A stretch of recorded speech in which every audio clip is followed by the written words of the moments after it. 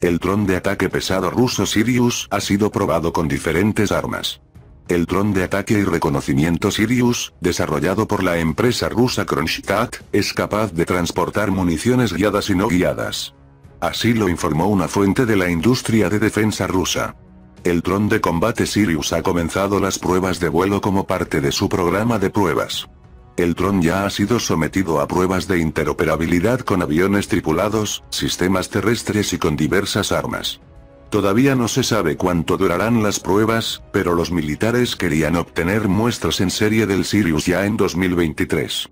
La necesidad de este tipo de aviones no tripulados quedó demostrada en la operación especial en Ucrania, donde hay una gran carencia de vehículos aéreos no tripulados precisamente para atacar con misiles.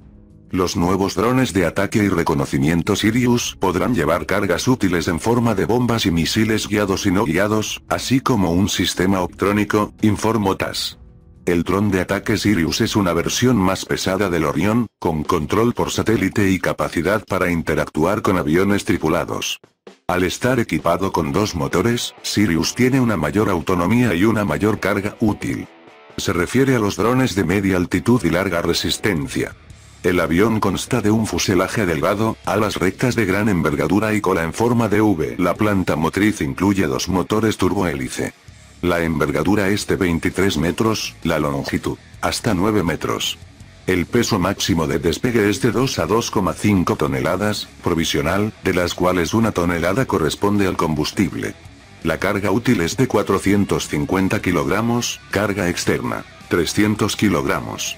Altitud de vuelo, 7000 metros, velocidad de crucero, 180 kilómetros por hora.